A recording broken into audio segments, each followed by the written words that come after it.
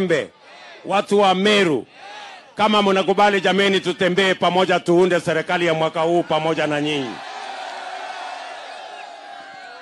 Muko tayari? Tutaungana pamoja, na ndio mimi nataka niwaulize, sisi tumekubaliana ya kwamba tutaungana. Si mnajua Waswahili wanasema umoja ni nini? Si umoja ni nguvu jameni? Mnakubali tuungane?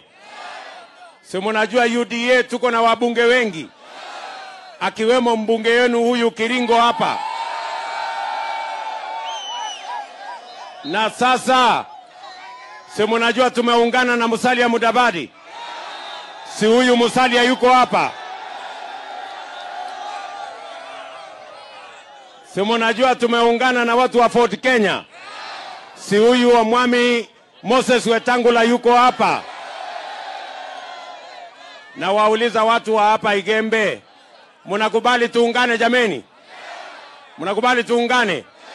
Hebu nione wale wanasema tuungane, tuungane, tuungane, tuungane.